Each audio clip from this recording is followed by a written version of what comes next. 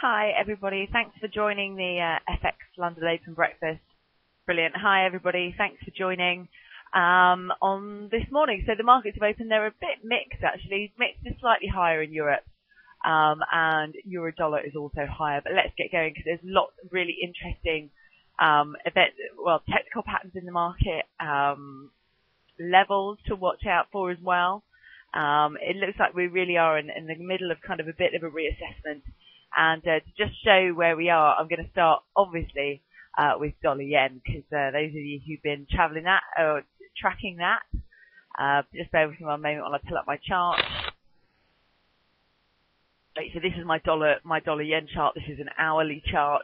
Um, so as you can see, um, absolutely since kind of the beginning of this month, just been um, you know a beautiful uptrend there with a few pullbacks, um, but fairly strong. So we've tested 80. So the range today has been uh, 70, uh, 79, so just below 79, 70 to 80.08. Um, with 80.08 being the top side for now, but again, we're retesting that. We're currently at 80.04, so we're having a right go at um, this 80 level. As you see, kind of been up there a few times. Um, I draw your attention just to the MACD though, however. Um, we just look at the daily chart here, so as you see, had that ma- wonderful breakup here. We were looking at this big level here above the 78.50 level.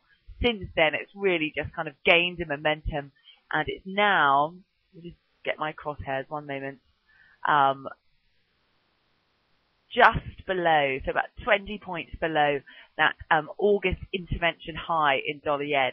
Um, so that was when the Bank of Japan came in and they actually, um, they actually bought, they actually bought dollar yen to try and weaken the yen um, back in August. Didn't really work. Um, but it, um, but one thing it did do, obviously, is now provide a really good resistance level um, for this kind of retracement in dollar yen. So um, we do believe, and we, we are hearing as well, that 80, all the way from 80 to 80 25, um, that there are um, there are uh, there's dollar supply, so that means that there's that's a real you know big profit level in the market. A lot of people have looked at that level as a place to take profit. Obviously, uh, because we've been in this situation before where it looks like the dollar's turning, uh, or dollar, you know, the dollar's turning versus the yen, and it quite hasn't quite done it, and it's come back to earth again, and people have got burned. So, um, you know, people are going to be cautious on this rally here. Um, so what that means is that um, we're going to see, you know, big levels like this. So obviously the 80-25 or 80-25 to 30 level, that intraday intervention high from the Bank of Japan. Uh, that's going to be a really key um, resistance level, we believe. Um, but we have had that there's a there's good macro um, demand out there as well um, around the as we lead as we as we're leading as we're around the 80 area. Um, so we'll just have to see which plays out. Um, do the do the profit takers play out, or the fact that there's um, you know, other uh, resting demand for dollar yen out there around these, you know, fairly high levels, like six-month high levels. Uh, you know, is that enough to then kind of continue to push this this this rally forward? And, and we tend to believe that it will. Um, that you know that it, it's a very good sign that yes, investors are going to be cautious, they're going to take profits, but the very fact that other people um, are coming in, um, you know, are, are still waiting to go long um, this rally um, suggests that you know the Bulls will win out in the end. But obviously, you know, just to get rid of those crosshairs, hang on, just to, um, you know, just to, just to draw your, your attention back to here and now, um, yes, we might kind of target the kind of the 81, potentially even the 80, you know, the 83 zone, um, in the coming weeks. Um, but for now, it's all about this 80, this kind of 80 level, this 80, 20, 25 level. And right now we do look, um, like we're, um, you know, entering kind of overbought territory. Uh, so it does suggest that there will be a bit of a pullback, and that that tallies with what we're hearing in the markets as well. There's, you know, as I said, you know, a big profit-taking area that everyone's been looking at. So do watch out for that. Let's just go back to the hourly quickly. And again, that looks like it turned just a little bit. We may see a pullback. Uh, there's obviously very good support here at 79.85. Uh, before we were to kind of move move back back forward or move on yet again uh, but we think that, you know, the uptrend is in place. Right now, the uptrend is in place. And if we are, if we do see a pullback towards that 79, 75 to 80 level, uh, that would be very, very normal. Um, so there, you know, just watch that there. But as I said, any pullback could be an, a good opportunity for the bulls to actually go long. So a pullback to that, you know, you may even want to say kind of 79, 65, 75. Uh, people will probably start going long there as well because we are hearing that there is a lot of demand um, for to go long dollar yen in the macro community. So they're kind of people who hold on to positions for a very long time. Um, so they're not just kind of your day traders. So it suggests that this could potentially be, you know, the obviously we could be in the middle of, of a of a full blown trend here. So um, let's certainly watch that. There's obviously a good few reasons. Um, number one, we've seen kind of risk come back on. That typically means that the yen comes off. And number two, the relative policy stances of the Federal Reserve in the US and the Bank of Japan. Uh, you know, the Bank of Japan looks much more kind of stimuli friendly, if you like, compared to the Bank, compared to the Federal Reserve. I mean, that's all weighing on the currency. I mean, added to that, of course, we've also seen some deteriorating economic conditions in Japan relative to the US. We've seen the US almost, you know, the dollar almost kind of start to act as a bit of a growth currency. But obviously the big risk for, for dollar yen, as always, is going to be kind of what's going on in Europe. It seems like we've got over the near term hurdle, but there are still plenty of other hurdles there. Still a lot of people calling for the Eurozone to break up by the end of the year. We don't necessarily, that's not our base case, but, um, but you know, the fact that that is out there and in the market means that you do have to listen to it. You do have to take a, take, pay attention to it. So further down the line, we think that could be more of a risk. We don't think it's a ground though. Okay. The other thing that I want to look at is euro dollar and I'm actually going to show you euro dollar on a different chart on my on my um, Bloomberg chart if you don't mind, purely because you'll get to see it better. It doesn't matter so much about the prices. Um, right. Here we go. You should be able to see my euro dollar chart on Bloomberg. Uh, this is just a, your regular candlestick chart, but I just want to show you really kind of what we're doing with with um, with euro dollar um, in the kind of the, the most immediate term, we are stuck within this range. And as you can see, we're kind of stuck, we're wedged between two daily moving averages. So really, really key support here, which is this uh, pink line, which is 50-day moving average. That comes in at 130.26. And on the upside, um, so far that's kind of thwarted the bulls. Um, that's 133.09. So we're smack bang in the middle of the kind of longer term range. So from that kind of January low of 126 to the high of 133, right now we're between kind of 130 and 133. Um, and that seems to be kind of exactly where we are. Right now we're, we're kind of towards the top of it. Um, so we're currently trading around 132.50. Um, you know, could that be a double top? We'll have to see. It does look like we're going back to, um, test it again. Let me just zoom in here a moment as well, just to show you. Um, Great. Here we go. Um, this is kind of the most short term price action. So as you can see that all the dates along here, this is a daily candlestick chart. Um, so that, you know, the candlesticks obviously, um, you know, what we've had here is kind of, you know, a series of high lows. Um, interesting that kind of doji, um, yes, or not yesterday, the day before, so on Monday, a, a lot of indecision. Um, obviously that was to do with Greece, what was going on there. But then yesterday we didn't really manage to kind of bust out of that. You know, we've got very short shadows here. Um, you know, the pr- price action was really, really range bound. It was really, really tight, which suggests indecision in the market. So the last few, apart from, you know, obviously we had, you know, uh, you know, we've had kind of a series of higher, um, of higher low, of higher highs, um, uh, earlier this week and towards the end of last week um, which helped the helped the get the dollar get the euro dollar back above that 133 level. Uh, really, since this week we've seen indecision. So we've gone from you know nice uptrend here to indecision, um, and kind of still remaining trapped within these um, moving averages. So that suggests to us, well, you know exactly what the let's just go stick with what the candlestick is saying. It suggests people are uncertain. Now there has been, you know, we have obviously been testing this 133 level haven't quite managed it and kind of pulled back again. Let me bring up my other chart as well. Um, here you go. I'll just change that to euro just so we can see it at different time frames. This is a 60 minute chart. So as you can see, you know, we have been there before and we have pulled back. Um, what we do need to watch out for and what some of us pointed out yesterday is that, you know, we tested 133 yesterday, then we went to test it again at a lower level. Um, that's going to be what we're really going to watch out for. Yesterday, the high was 132.93. Today, so far, so we've only just started, it's 132.64. So we are going to have to kind of watch that. That's going to be really important. We've been a bit erratic over in kind of recent weeks. You could, recent weeks, you could call this potentially a little bit. Well, you can't really, but you know, some people may argue there's a little bit of a kind of a head and shoulders coming up here, um, but a bit strange looking head and shoulders to be honest, and, and those patterns are so rarely um, correct that we need to look at them. Obviously, there is support here at 132.30. Um, if we bounce off that, we may try another 133, but just the fact that we keep doing it, um, you know, this is, these are our attempts at 133. It's very, very messy. It's been very erratic. Um, we haven't, uh, managed to break above it, um, in, you know, in, in, the best part of kind of a week now. Um, we've kind of continued to try, um, to test it, uh, moving higher, um, but, uh, you know, we keep faltering at that level.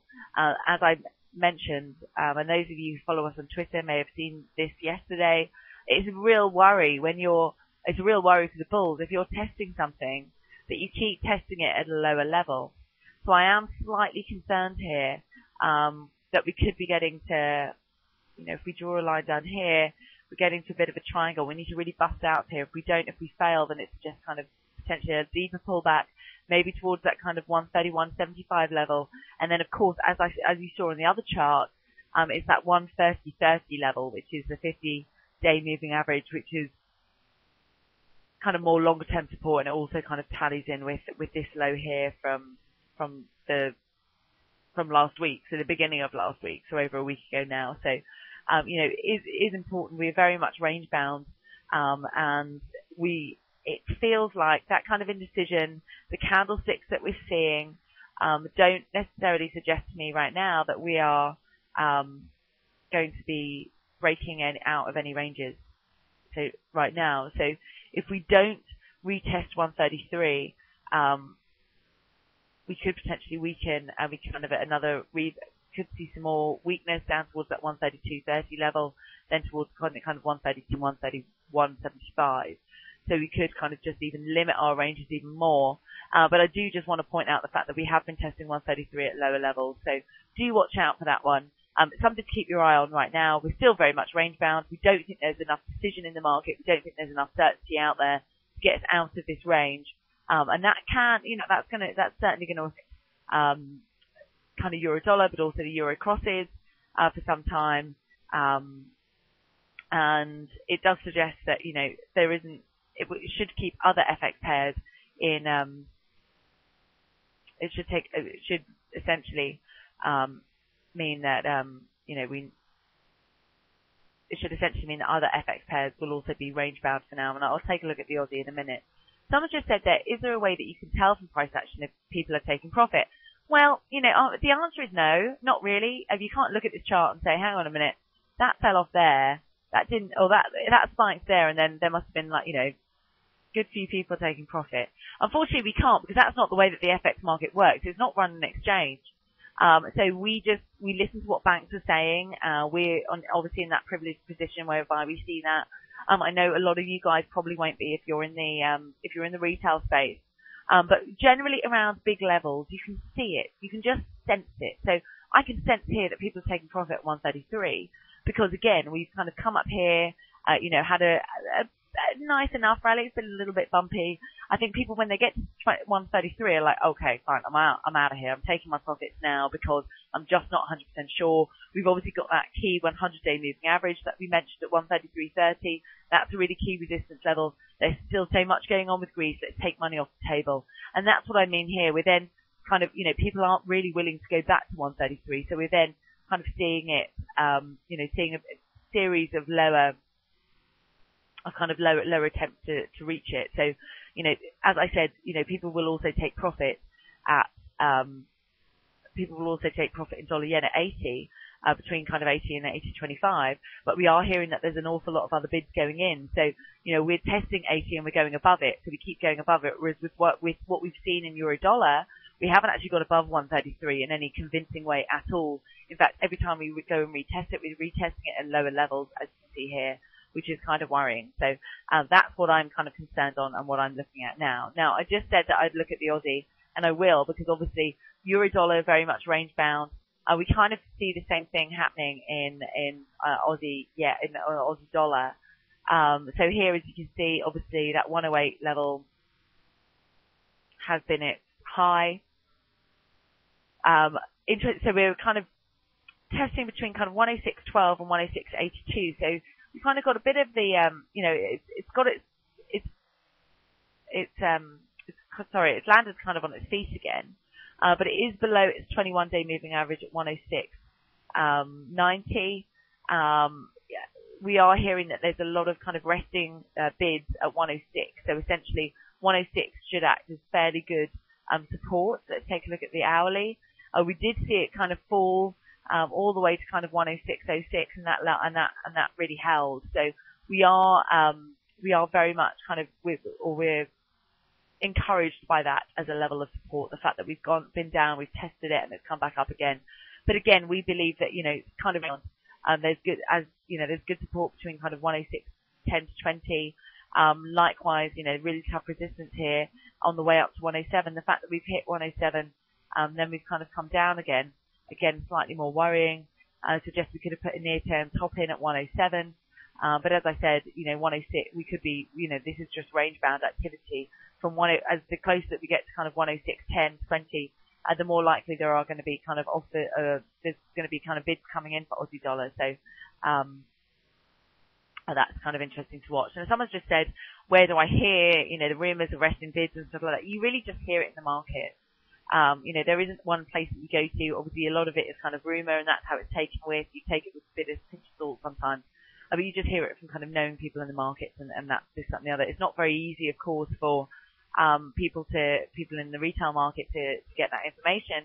Uh, but what's one thing I would say, like you know, if you read blogs, so if you read kind of you know, obviously FX Street, um, there's some other you know FX blogs out there. Even if like the FT sometimes um, in the companies in, mar- in the market section of the FT and they'll sometimes, you know, their, their journalists are very good. They talk to the markets a lot, um, and they'll also um, mention uh, kind of things like, you know, what the market's thinking about, um, you know, what the, the kind of the big rumours are out there. It doesn't always mean they work.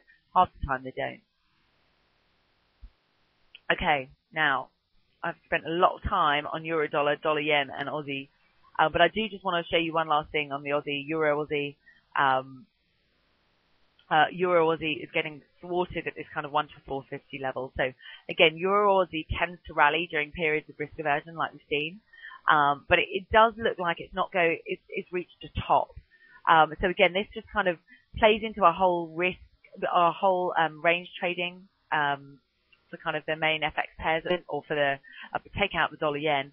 Um, but we're, uh, you know, the, it suggests that we're not going to stay in this period for much longer. That's what it says um, it really means to us that we're, uh, you know, it really suggests to us that, you know, we're just in a bit of indecision. We could break out on the upside or the downside at the moment. We just need to wait and see, see what the, um, what the, what the markets tell us. But obviously Euro Aussie, when that's strong, that tends to mean that kind of risk overall is quite weak.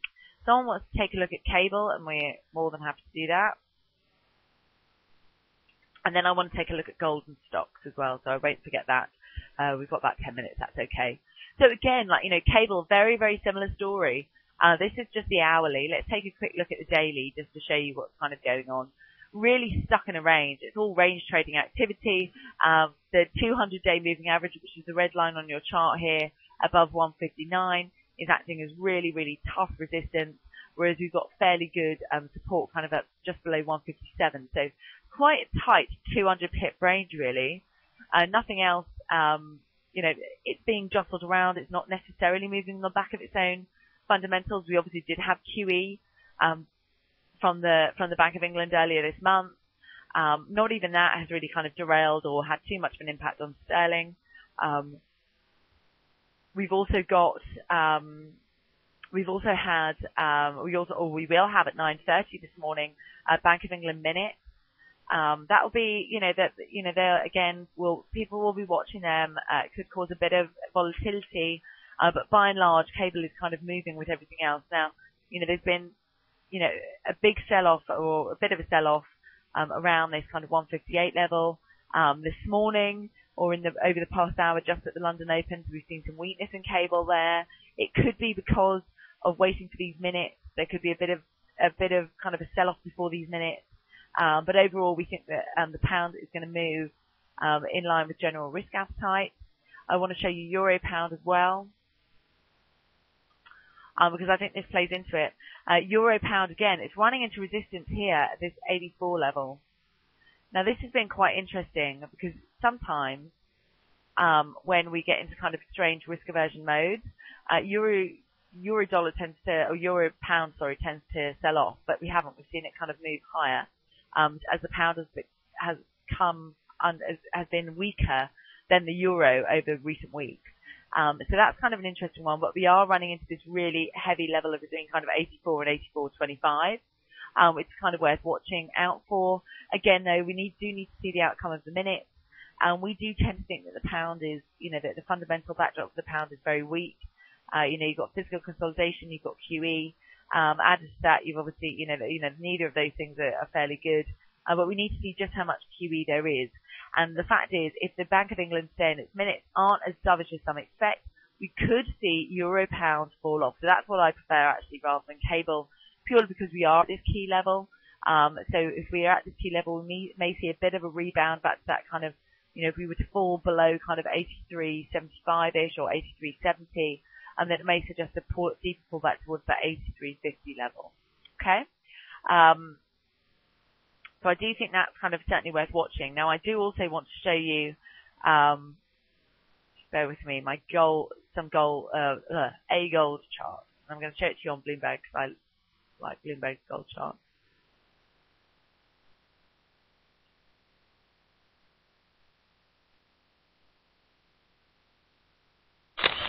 Right, here we go. Um, this is uh, a gold price. So as you can see, gold price is you know, it's been kind of thundering ahead yesterday.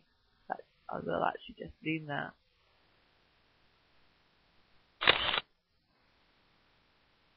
So here you go. You can see that it had a really, really sharp jump up. Obviously, uh, then we took kind of a bit of uh, a bit of um, a bit of uh, kind of indecision, uh, a little bit of kind of that's a kind of a doji there. Um,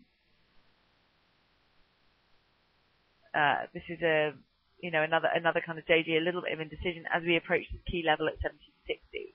Um, now, um, 1760 obviously is, is kind of a major level. It's one to watch out for. It's acted as resistance before. Um, however, um, you know, we're above all our major moving averages.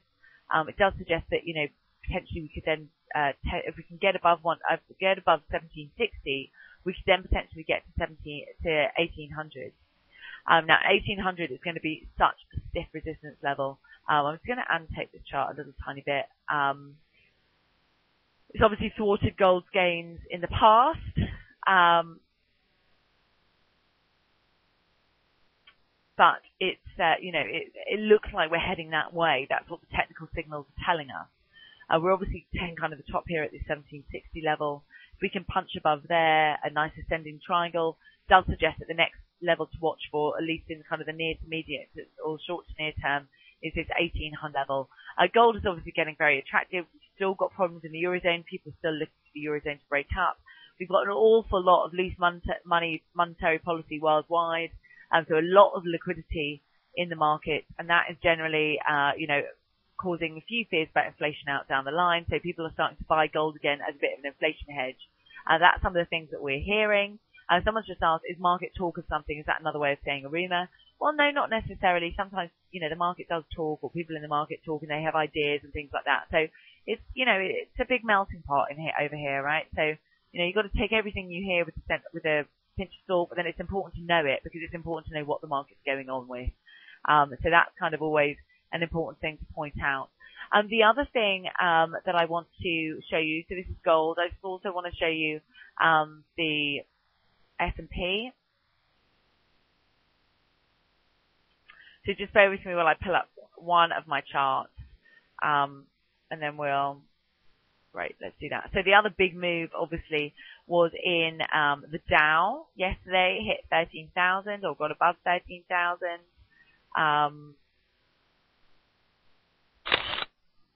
Right, so here we go. Um, some of you who've joined me before will know that I look at this um, the orange line is the Dow Jones Transportation Index, and the white line is the Dow Jones. Uh, that hit 13,000 yesterday. It did come off though. There was a bit of profit taking around that level, and that's going to be a really key resistance level. Um, some real Dow theorists out there are going to be very worried because the transport index, which tends to track this index very closely, has come off very, very sharply. So there's a big divergence there. Um, in the past, when they diverge, they tend to come back together very, very quickly. As I said, the market is in a period of indecision. We're seeing that in a euro dollar, that's for sure. Um, we just need to see which way it goes. So which way will, um, you know, will, will the Dow fall back towards transport or is this something, um, right, somebody's just asked, asked a question. Um, and I think that the FX admin can ask that just to answer, you know, how do they reply to a private message? Um, I think that's the, uh, if the FX admin could do that, that would be great. Um, but these two do move together. So it is a bit worrying that the Dow has hit, um, kind of these, like, you know, 2008 highs, haven't really managed to kind of sustain it. And since then has kind of, uh, the, and, and then, you know, we get, we're not getting that follow through in the, in the transportation index. So that's kind of an interesting one. Um, you know, if the Dow fails, someone's asked, um, can we expect the US to go into a second recession in the next six months? Um, doesn't look like we're going to go into a second recession in the next six months because if you look at some there, some, um, if you look at some of the key, um, if you look at some of the key indicators, your ISMs, your PMIs, um, you know, that there are, you know, they are pointing higher. However, they are pointing to the fact that there's a bit of an inventory overbuild, which has kind of boosted manufacturing industries and the like, um, which suggests that it may not um, be able to, um, or the pace of growth, the pace of recovery that we've seen in the US may not be able to be sustained. However, what is quite interesting is that the housing market is picking up, and we're going to get housing data later on today. Um, you know, if we do see a turn in the housing market, could that take over from manufacturing production um, and really kind of help domestic growth in the US. So right now, I think it's way too early to say that that, that we could see, you know, that we're in any way pricing in a second recession. Now we do think that, you know, potentially things ahead go, you know, in future will be, you know, the pace of growth rate will necessarily be um, picked up. So that's why, you know, investors are getting very nervous around these 13,000 levels and why we may see a bit of a pullback. Um, you know, it's had such a fantastic run up um, since kind of October last year you know, we've had a fantastic, you know, we've done fantastically well. I'll just show you here. This is how far we've done. You know, we've had a 20% move, so we're in a bull market now. Um, so there may be further to go, but it is kind of, it is kind of worth just pointing out that there is this discrepancy, and which suggests we could kind of pull back. Um, again, you know, a pullback at this level would be perfectly normal. If we were to pull back towards kind of the 12,000 level or get below that 12,500 level, then we may be worried and there may be something, some sort of change to the macro environment. Uh, but for short-term traders, that's useful for those of you who kind of are buying and hold, holding, um, you know, a, if you, you know, a, a short position that you watched very carefully and were very nimble about getting out of may work best for you. Um, over the next six months because we do yep. see a slowdown in the pace of appreciation anyway. And obviously we've had a big, huge move up already. Gains going forward may be slightly a shorter lived. Um, so it might be better if you want to go long to wait until we get to, you know, wait until we see the pullback and rather than jump on straight away. But there are still a lot of bulls out there who are, you know, very happy to jump on the back of this trend. You know, remember added to that, you know, interest bonds are incredibly low, so interest rates are really low, and that could also, um, you know, filter into, you know, there's a lot of loose monetary policy around that will also filter into um, stocks, uh, and it could sustain gains for another couple of months. Um, you know, essentially, uh, before that liquidity starts to be withdrawn, uh, maybe starts weighing on the economy a little bit. Um, and then that's when we could see kind of the deep pullback in, in stock. So we don't think that's on the cards yet, but it's not beyond the realm of possibility for kind of the middle of this year. Okay, everybody, um, that's my time up. Uh, thank you very much for joining. Um, I hope you enjoy your next session. I also hope you guys can join me on Friday. Um, and uh, good luck with your trading. Uh, as we said, you know the markets are in decision mode. Um, of course they are because of everything that's going on in Greece. So uh, again, thank you very much, and please do join me on Uh, on Friday. Thanks, everybody.